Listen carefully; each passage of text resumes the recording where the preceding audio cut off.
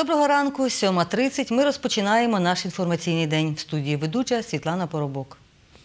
За минулу ніч повідомляє Людмила Чернилевська, тимчасово виконуюча обов'язки прес-секретаря патрульної поліції області.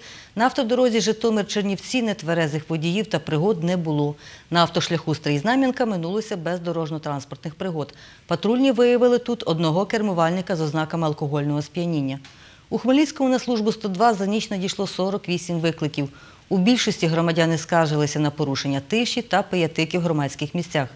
Патрульні зафіксували 35 випадків порушень правил дорожнього руху, перетин подвійної горизонтальної лінії дорожньої розмітки, порушення правил проїзду перехресть та технічну несправність транспортних засобів.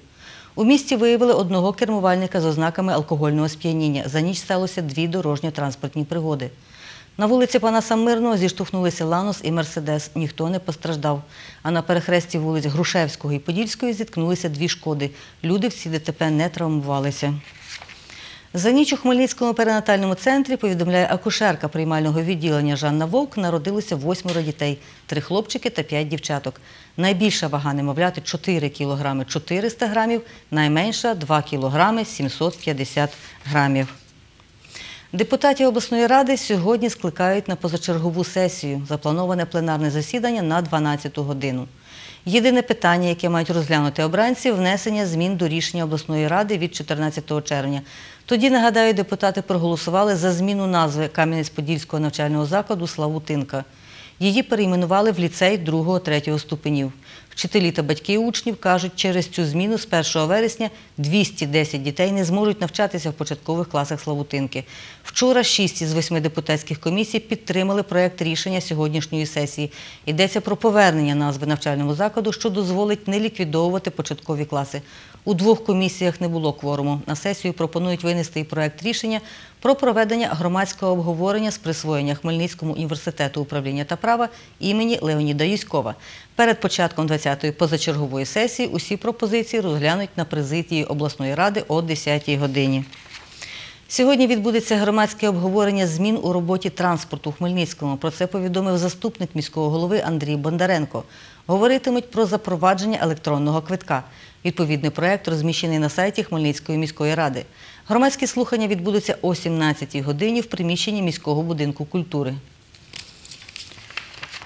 Хмельничанка Лідія Пастух в 77 років вступила на навчання в університет, закінчила виш за спеціальністю викладач з фізичної реабі- реабілітації та основ здоров'я і тепер працює тренером з фізичної реабілітації та в свої 79 років власним прикладом доводить старість непохилий вік.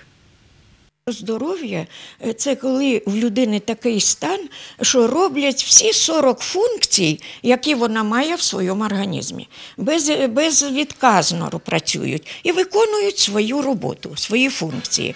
А Марк Твен сказав, що здоров'я дуже велика і тяжка праця. Що здоров'я е, це е, е, е, коли ти їси те, що не любиш, п'єш те, що не хочеться, і робиш те, що не, не, не нравиться, не подобається. І стали відомі результати виступів ще інших спортсменів Хмельниччини на чемпіонаті світу з класичного пауерліфтингу серед студентів. Вадим Яржемський, повідомляє генеральний секретар обласної федерації пауерліфтингу Сергій Франков, став бронзовим призером змагань за сумою трьох вправ. Вадим у ваговій категорії до 74 кілограмів у присіданні втримав штангу вагою 220 кілограмів, що було другим місцем у цій вправі. А в жимі лежачи став чемпіоном з результатом 162,5 кілограми. Тетяна Щавінська стала абсолютною чемпіонкою світу серед студентів. Нагадаємо, спортсменка з власною вагою менше 42 кілограмів. У присіданні втримала штангу вагою 110 кілограмів, у жимі лежачи її результат 82 кілограми, у становій тязі 140 кілограмів. У сумі це 322 кілограми і на 42,5 кілограми більше, ніж у срібної призерки студентського чемпіонату світу. Змагання відбувалися в Чехії, в місті Пільзень, а тренує спортсменку Віктор Цісар. На цьому наш випуск завершено. Ми зустрінемося з вами рівно о 8.